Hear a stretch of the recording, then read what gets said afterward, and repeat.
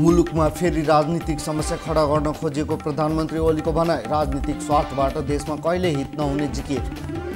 विप्लव कार्यकर्ता खोज्न मोडङको मिक्लाजुङमा search operation सुरु। जिल्ला सुरक्षा समितिको बैठकले घटनास्थल र आसपास क्षेत्रमा सर्च अपरेसन सञ्चालन गर्ने निर्णय।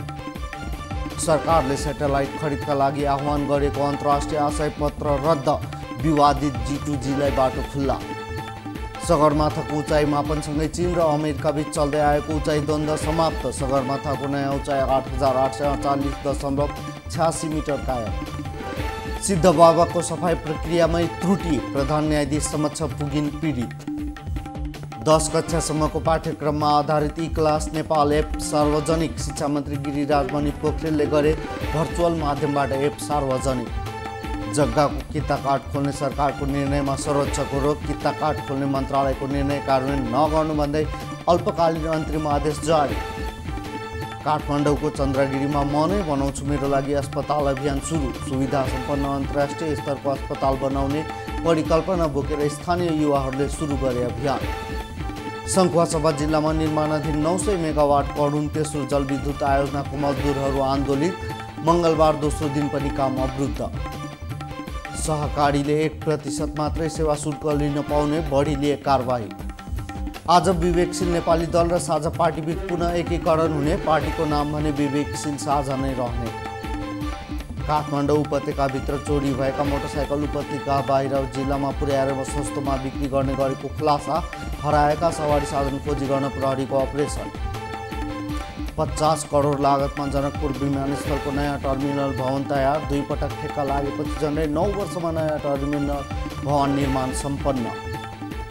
रौतहटको चन्दी गाउँपुरमा स्थानीयले गरे राजा उद्देश्य बचाउ भन्दै प्रदर्शन प्रदर्शनकारीद्वारा राष्ट्रिय झन्डासहित नगर क्षेत्र परिक्रमा। नेपाल दूरसञ्चार प्राधिकरणद्वारा नेपालकै सेटेलाइट राख्ने प्रक्रिया खारेज दुई हजार तेहत्तर सालदेखि सुरु भएको प्रक्रिया खारेज भएको प्राधिकरणद्वारा जानकारी। भारतको जोगबेनीबाट भन्सार छलेर ल्याएको कपडा र प्याज बरामद बरामद सामान भन्सार कार्यालय रानीमा बुझाइएको जिल्ला प्रहरी कार्यालय मोरङको भनाई। नेपालका लागि रुसका राजदूत एलेक्सी निबिकभ र ऊर्जा मन्त्री वर्षमान कुनबीच भेटवार्ता रुसद्वारा नेपालमा ठुलो लगानीको जलविद्युत आयोजना निर्माण गर्ने इच्छा व्यक्त। साइबर अपराधबाट विश्व अर्थव्यवस्थामा एक वर्षमा एक सय अस्सी खर्बको नोक्सान विश्वकै जिडिपी कुल ग्रास्त उत्पादनको एक प्रतिशतभन्दा बढी नोक्सान।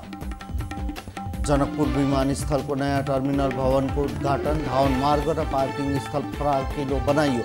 बारु नियन्त्रण र एक्सरे मेसिनसहितका संरचना पनि थपिए फ्रान्समा हेलिकप्टर दुर्घटना पाँचजनाको मृत्यु खराब मौसमका कारण दुर्घटना भएको अनुमान।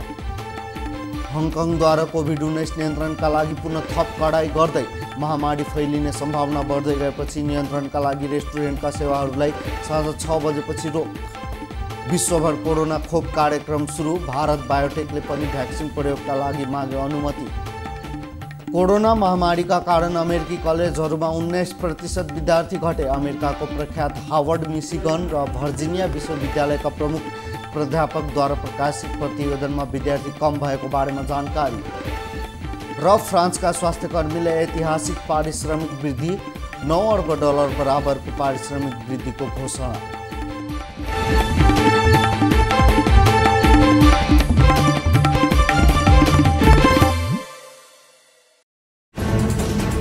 कोरोनाले सृजना गरेको सङ्कटमा पल पलका न्युज अपडेट र हर क्षेत्रको कभरेजका लागि। News twenty four Nepal YouTube च्यानललाई सब्सक्राइब गर्नुहोला।